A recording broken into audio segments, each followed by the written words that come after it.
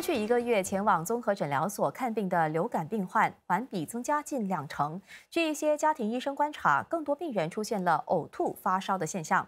中医师呢，则表示复诊的人数增加了。记者李正怡的报道。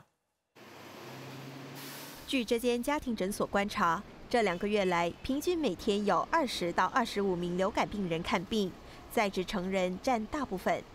我看是因为他们出国旅行的原因。如果可以的话，最好是拿病假在家里休息，最好是没有发烧、没有其他的症状、没有咳嗽、没有喉咙痛、没有流鼻涕才回去上班，就避免传染给别人。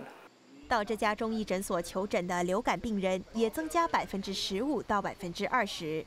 中医师发现，病人的发烧体温虽然不高，但有的需要长达六天才康复，复诊人数有所增加。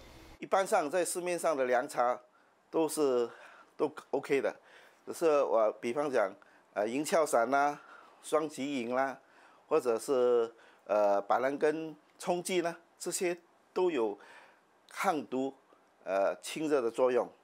卫生部的最新数据显示。因急性呼吸道感染到综合诊所看病的人数，六月九号起呈上升趋势。七月七号到十三号，综合诊所每天平均有三千三百一十二起急性呼吸道感染病例。